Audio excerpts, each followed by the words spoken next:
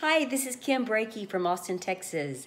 I'm excited to be making this video and look forward to the opportunity to work with one of the leading SEO agencies that has exceptional marketing skills.